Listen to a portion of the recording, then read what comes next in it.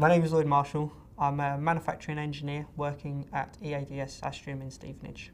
Um, a manufacturing engineer normally means manufacturing a product.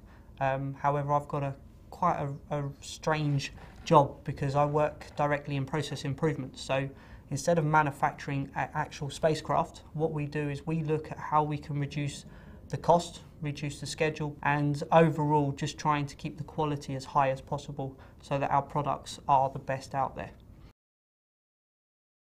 When I was at school, I had an ambition to be a fireman. Um, my uncle was a fireman at the time, and I thought it was a very, very interesting job, um, saving people's lives. Um, when I was at the age of 16, I didn't do quite as well in my GCSEs as I expected. I actually failed my English. I only got a D, um, and in some respects, I, I, really did want the C in English. So what I did was I, I stayed on to do my A levels, and I had the opportunity of redoing my English, which I did and succeeded, and I got a C. The A levels I studied, I did um, information, communication, and technology, which otherwise known as IT um, mathematics and biology. I like to use my mind and my numbers. Um, and kind of the form teacher was really did choose my path. I, I knew in my frame of mind I wasn't going to be able to do university. Um, I already had some work experience behind me successfully, and um, I got the feel of money, and didn't quite think that university life was for me. Um, I needed a slight change, and thankfully, my um, form tutor at the time walked in and um, she passed me a piece of newspaper cutting and a bit bemused, I kind of asked what this is and she understood that I wasn't going to go to university but she knew that I still enjoyed learning and it was for an apprenticeship for EADS Astrium um, and I applied and never looked back really.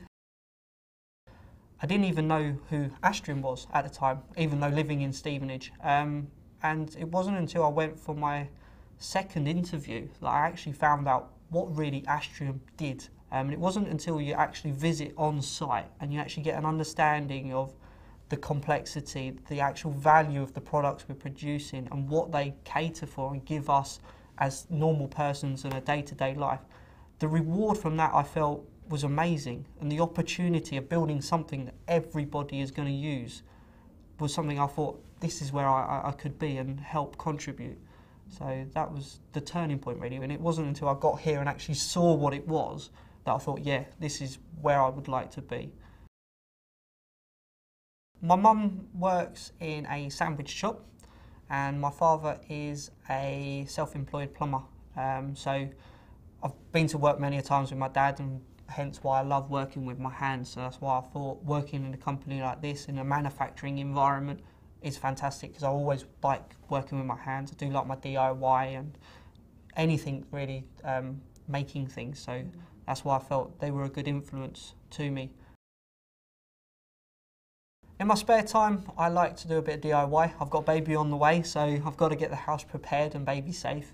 Um, apart from that, I like to keep a little bit fit, so I, I do help the environment. I'd cycle to and from work every day, and um, I do like to do a bit of cycling. Um, I'm also a keen fisherman, um, so unfortunately I'm the one of those that sits at the lake and uh, well tries to catch a fish every now and again. And really just socialising with my friends and family. And we've got a very close family, so I like to keep in touch, find out what everyone's doing, and um, help where I can help.